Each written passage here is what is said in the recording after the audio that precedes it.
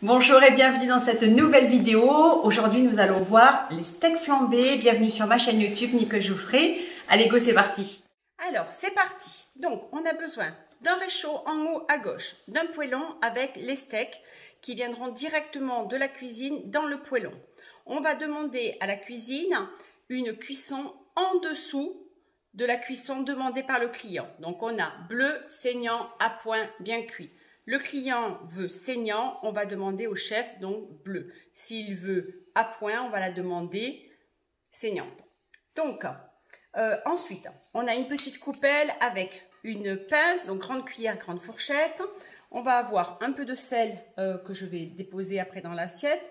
On va avoir euh, du porto, des fois on peut mettre du bagnoul, c'est très sympa, du cognac, du fond de veau, de la crème liquide, deux assiettes creuses chaudes, vous allez voir l'utilisation, un lito, des assiettes qui vont arriver ensuite bien bien chaudes. Eh bien on est parti. Alors,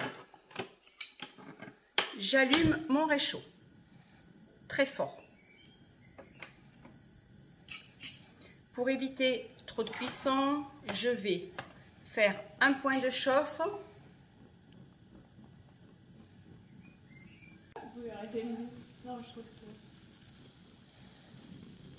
Un point de chauffe et puis on va flamber les steaks. Donc, comme d'habitude, je vais déposer le cognac ici.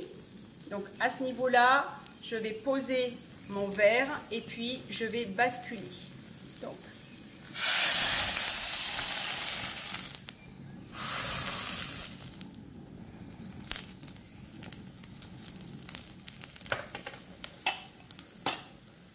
Donc vous voyez, le steak ne doit pas rester trop longtemps dans la poêle. Ça continue à flamber, c'est magnifique. Alors, je retire les deux steaks. Donc, les deux assiettes, à quoi elles vont servir? À maintenir au chaud les deux steaks. Je fais bien attention de ne pas le faire tomber. Ensuite, je vais déglacer avec un tout petit peu. Donc là, je vais réduire mon feu puisqu'on va faire une sauce au poivre. Je vais déglacer avec du porto et du bagnols comme je vous le disais.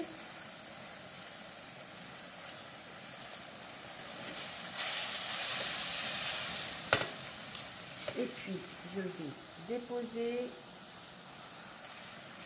un tout petit peu plus. Ça sert à déglacer les sucres. Et puis, je vais mettre maintenant mon fond de veau.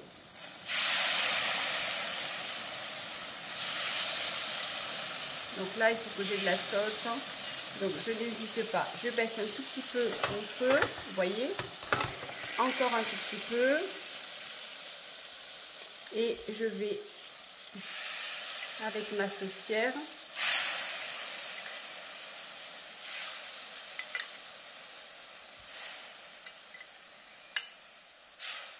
C'est vraiment pas du tout quelque chose de commun maintenant que l'on voit dans les restaurants. On est plus sur des desserts dans les restaurants, flambage. Je vais prendre ici. Et je vais travailler ma sauce. Donc comme je le dis souvent, si on veut regarder la hauteur de la flamme, se penche pas. Je retire juste son poêlon.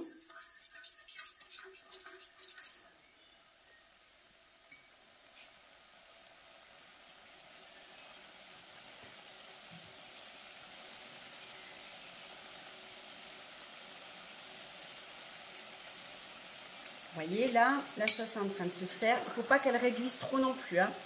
Donc là c'est bon. Je vais y mettre de la crème bien épaisse.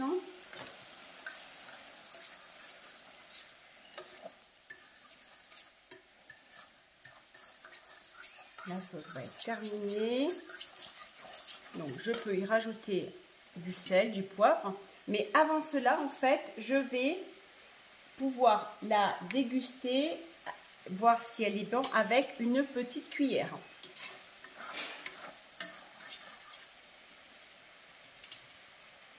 Alors, pour goûter, je prends un tout petit peu, voyez, je me penche, je me tourne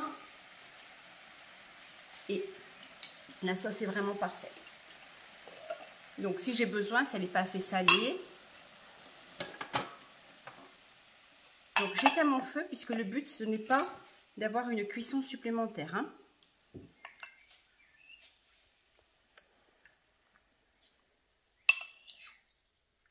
Vous voyez, ça va quand même assez vite.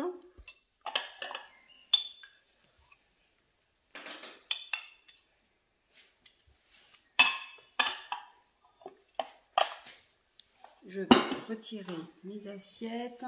Je vais apporter mes assiettes chaudes.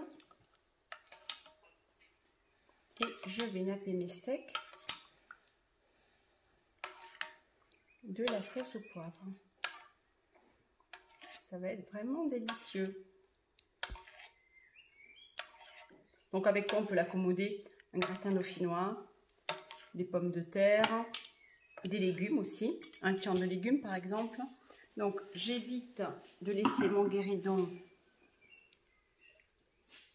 Je le retire au fur et à mesure. Et là je vais dresser mes assiettes.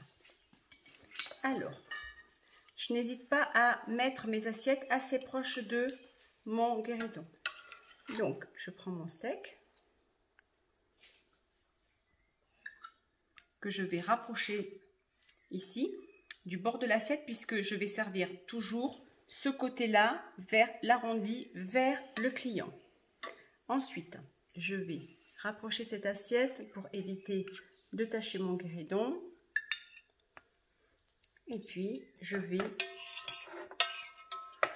napper de sauce. Donc, je fais comme ceci. J'enlève en dessous avec la fourchette. Et je n'hésite pas à servir généreusement mes clients.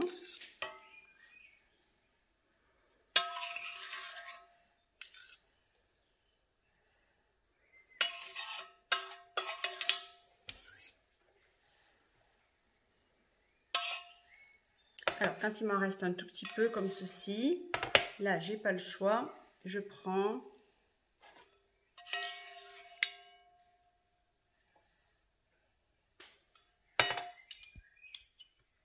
Voici. Si jamais on a une petite tache sur le côté, je prends mon lito délicatement et j'essuie mes traces de sauce et on va servir le client en lui souhaitant une excellente dégustation.